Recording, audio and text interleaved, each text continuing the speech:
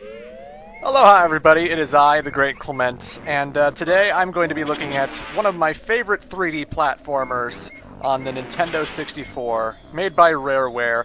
I'm sure a lot of people are familiar with this one. This is Banjo Kazooie.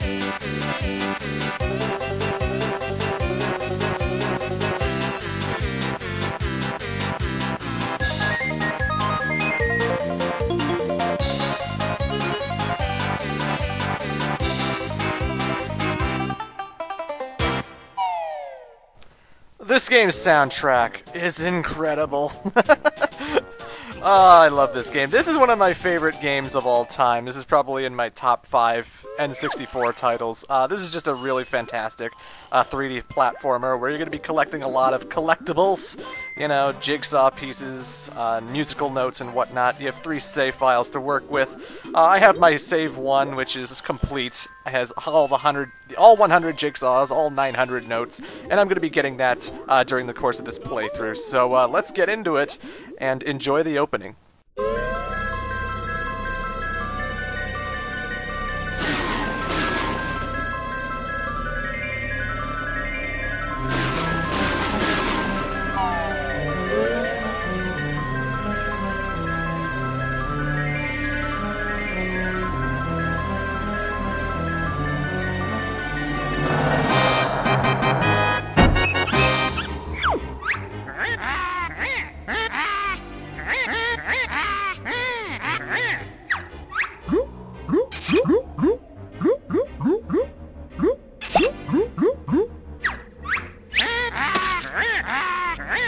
Ah!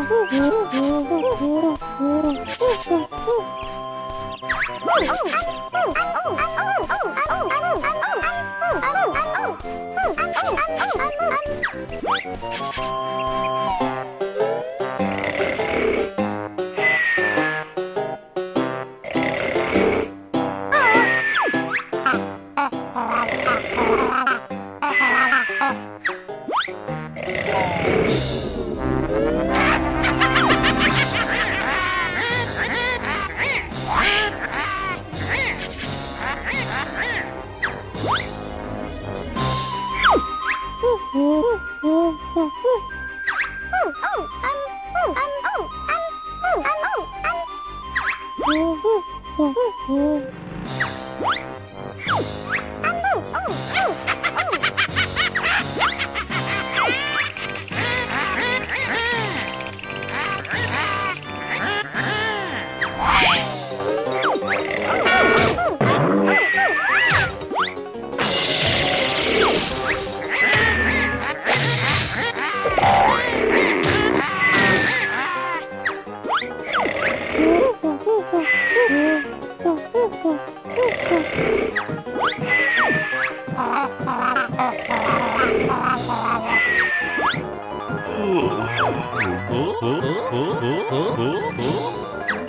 Ah!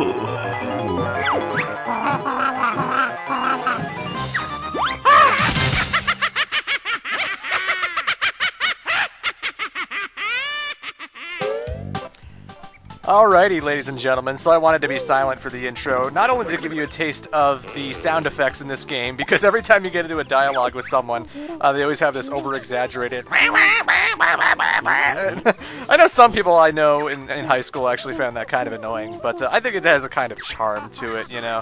I really enjoy this game. Uh, so this is Banjo-Kazooie, a 3D platformer where uh, you're going to be going to a whole bunch of di various different worlds, uh, collecting things so that you can move forward and forward through the evil witch Gruntilda's spooky castle lair, so that we can rescue Banjo's sister Tooty, who has been stolen by this evil witch to, uh, you know, make the witch hot. well, we'll see that later. Anyway, this whole tutorial part, we can push A here and get him to explain everything to us, but uh, we're good enough, Bottle Brain. I know how to play this game. Everything's gonna be hunky-dory. This is my LP. What, are you trying to be the commentator, Bottles? Y you trying to steal my thunder? I'm the one explaining how things work.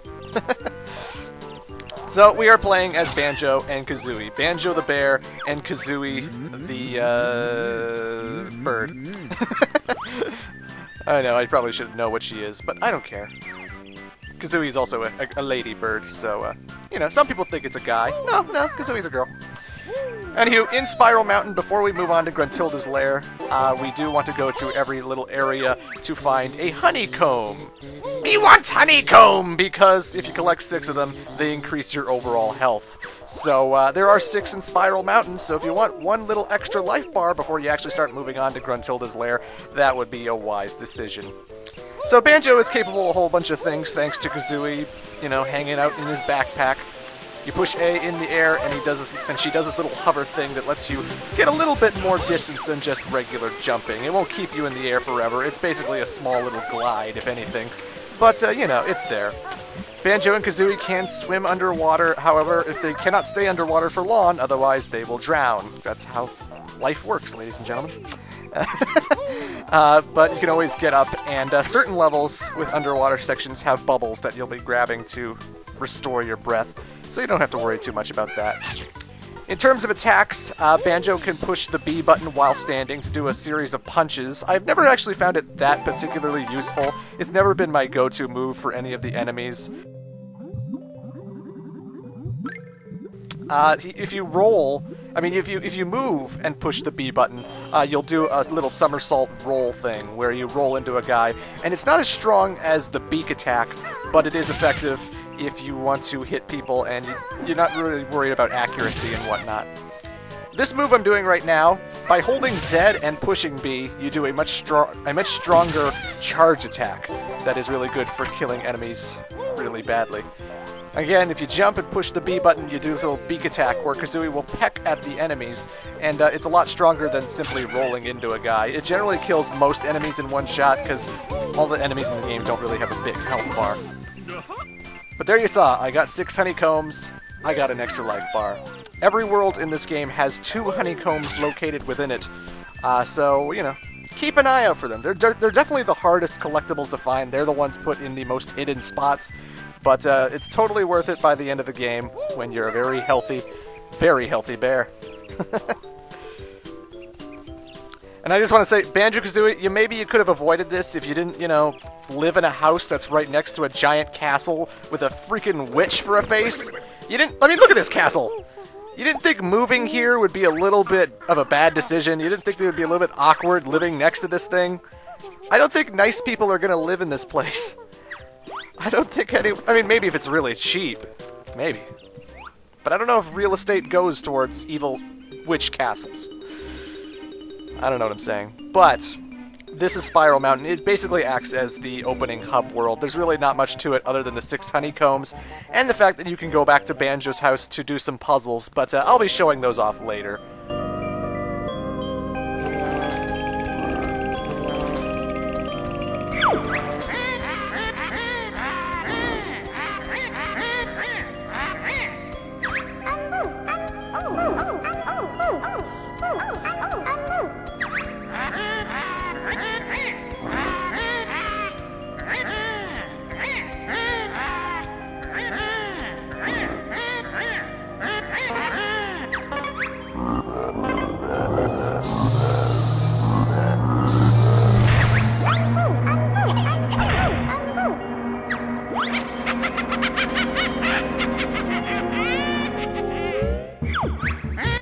So the thing I love about Gruntilda the Witch, every time she talks, she always rhymes. no matter what she's saying, she always has to make it so her second sentence is like a rhyme of the first sentence she said. I don't know, it's, it's, it's really fun a villain trait that I wish carried over into Banjo-Tooie. It did for Nuts and Bolts though, so I'm I do appreciate Nuts and Bolts for doing that at least. But uh, that is a Jiggy piece, ladies and gentlemen. One of 100 in the game. And uh, again, this is a collecting type of game. You're not going to be progressing to the end of the game unless you're collecting these things. So you definitely need to look out for them. Now, I can't climb this hill, so that means we're going to have to find some way to get up here.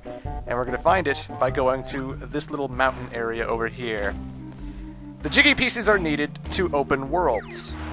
And the worlds themselves contain more Jiggy pieces which unlock more worlds, which get you further to the castle and get you to Gruntilda herself.